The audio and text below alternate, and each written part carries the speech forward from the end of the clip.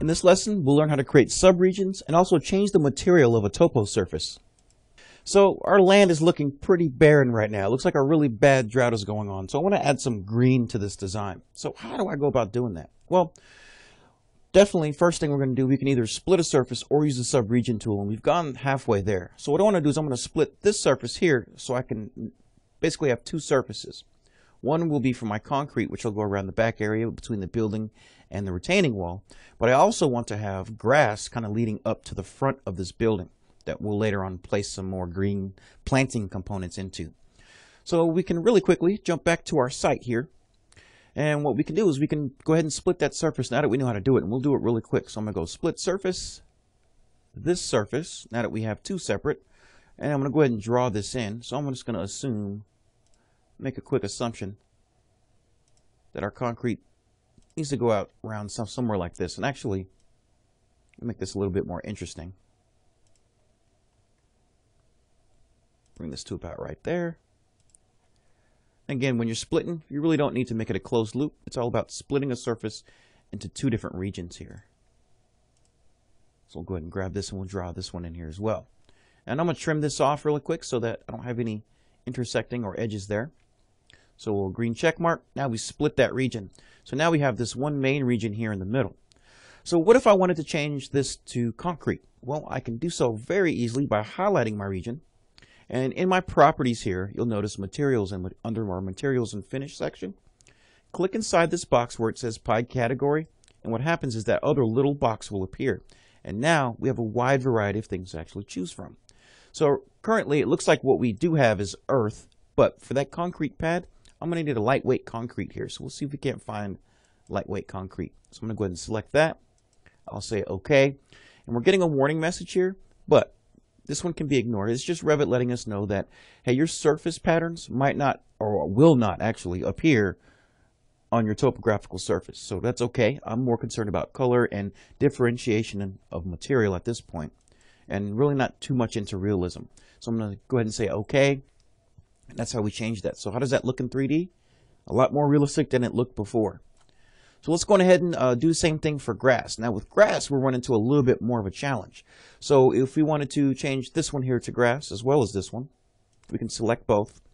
And underneath material, we'll do the same thing before. So where it says by category, click out here to the right. And now let's go in here and search and see if we can't find grass. I'm going to say grass. Nothing for grass. How about vegetation? Let's try vegetation. Nothing. So what that means for us is we're going to have to go ahead and create our own material. So while we're in here, I'm going to show you how we can quickly do that. So we can come to this area here and we can either create or duplicate material. So I'm going to go ahead and do that. And I'm going to say, click on that little down arrow and I'm going to say create new material. And there's our new material. So let's right click on that together and let's give it a name. And it's going to give it a name, something that makes sense for us. So we're going to say grass for site model. Now we're not done yet. I want to apply color to this so I can see that differentiation of surfaces and materials. So for shading, I'm going to go ahead and apply, oh, maybe this green color.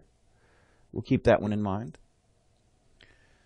For surface pattern, you remember the warning message we got? Well, you really won't, our surface pattern really won't show up uh, in that particular view. So, but I do want to have a cut pattern once I do get to elevation so that you can see the difference between earth and maybe the footing or anything that goes uh, below the ground. So let's add a cut pattern to that. So I'm going to click on that. And there's one for earth here, as you scroll down right here. So I'm going to go ahead and say OK for that. So one more thing is when we create, well, once we get really far enough in this model, I want to be able to create a nice realistic view. So I need to make sure that this color is going to be there in my appearances. The graphics is going to take care of my consistent color view. Appearance is going to take care of my more realistic views. So I'm going to go to color, pick the same color. I'm going to say OK, apply, and OK. So when I click out here, now we have new material. Pretty cool stuff, right?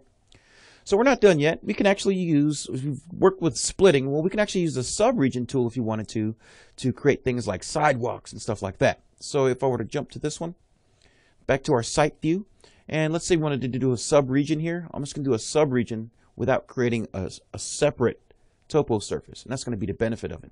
Now with your subregion, the key is you're going to want to make sure that you are creating a closed loop system.